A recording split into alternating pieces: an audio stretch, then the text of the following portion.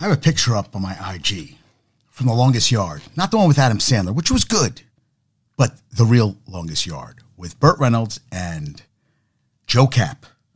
Now, Joe Kapp was a guy who just passed away today at 85. He was suffering from dementia. He led the Vikings Super Bowl four, where they were big favorites against the Chiefs and ended up losing 23 7. He played eight seasons in the Canadian Football League, was remembered for his toughness playing through injury after injury. He spent as an eight season CFL, making the NFL with the 67 Vikings, took them to the Super Bowl four in 1970, died, I'm sorry, Monday, San Jose. He was, son said he was in an assisted living facility, was complications of dementia. He gained reputation for resilience in the face of injury. He said, I played with cracked ribs and a punctured lung and a torn knee and separated shoulder and a half dozen other injuries. I've been called one half of a collision looking for another. He wants to be running out of bounds to avoid a little physical contact with the linebacker. He said, maybe this goes back to my Chicano childhood and machismo. Machismo means manliness, a willingness to act like a man. And if a kid didn't have machismo in the polyglot neighborhoods of the San Fernando and Salinas Valleys in California, where I grew up, he had it tough. He was partly of Mexican descent, was labeled the toughest Chicano by Sport Illustrated on the July 1970 cover. They saw him as a successor to Fran Tarkenton, who'd been traded to the Giants. He tied a single game NFL record held by several quarterbacks when he threw seven touchdown passes against the defending league champions, the Colts, in September 1969. He threw 19 touchdowns that season, leading the Vikings to the Super Bowl against the Chiefs, that uh, which was the AFC champ, which was its last season before it merged with the NFL. You know, they had the Purple People Eaters, they had Carl Eller, they had Jim Marshall at the ends, Alan Page and Gary Larson at tackles, and ended up losing 23-7. He, he incurred a badly injured shoulder when he was hit on a bootleg play. He stayed in, completed 16 passes for a buck 83, two interceptions.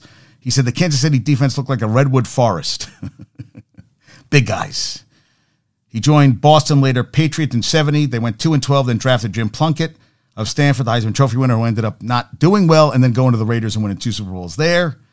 He had a contract dispute, refused to sign a standard player's contract for the 71 season, quit the team in July, filed an antitrust suit against NFL. Jury declined to award him damages, but the case represented an early challenge in the player's ultimately successful struggle to win free agency rights. So he, right, so he started something there, there, you know? I mean, he started something. And he was born March 19, 1930 in Santa Fe, oldest of five children. His mother was of Mexican heritage. His dad was of German descent. Moved to California when he was young. Played football and basketball in high school. Got an athletic scholarship to Cal Berkeley. Led the Bears to the Pacific Coast Conference football championship before they became the Pac 12 in 58 and a berth in the Rose Bowl game and lost to Iowa. He also played basketball at Cal. They won a pair of Pacific Coast championships, 6'2, 205. He set a career rushing record for Cal quarterbacks, running for 931 yards in three seasons but the Golden Bears employed a split T formation favoring a quarterback option running plays over the passing game. So because of that, he wasn't selected in the 59 draft until the Redskins, now called the Commanders, chose him in the 18th round. They used to have very, they had, they had, the drafts back then went on forever. They never contacted him, went to CFL, spent a year and a half with the Stampeders of Calgary, then was traded to the British, British Columbia Lions after un- undergoing knee surgery. He led them to the 63 Grey Cup game, for the CFL championship, a loss to the Hamilton Tiger Cats, but they defeated Hamilton 34 24 for the 64 Grey Cup.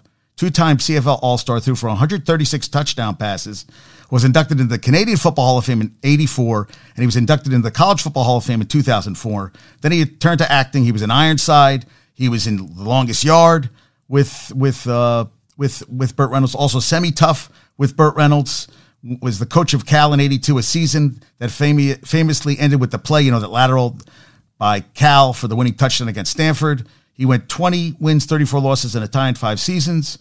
He was the British Columbia Lions general manager for most of the 90 season and head coach of the Arena League's Sacramento Attack in 1992. Survived by his son, second wife, another son, daughters, brother. His first wife died in 2005. But uh, pro football players aren't easily intimidated, but Kapp's intensity made a de- decided impression. This is from Kansas City defensive end Jerry Mays, was quoted in Sport Illustrated, was saying after the Super Bowl win over the Vikings, he said, he's a sorry passer and really not a great quarterback, but he's a great leader.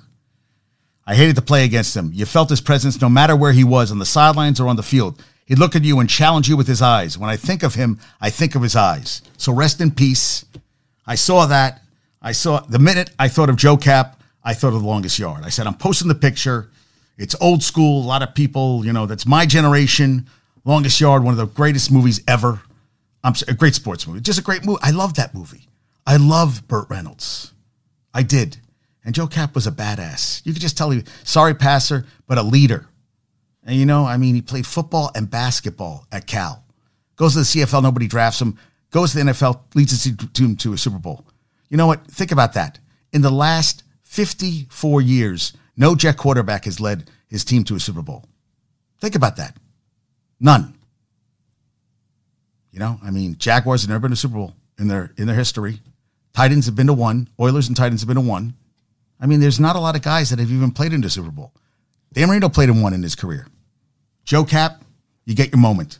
I wanted to start with that. I was really going to start with this SWAT, which was canceled, and I was all pumped.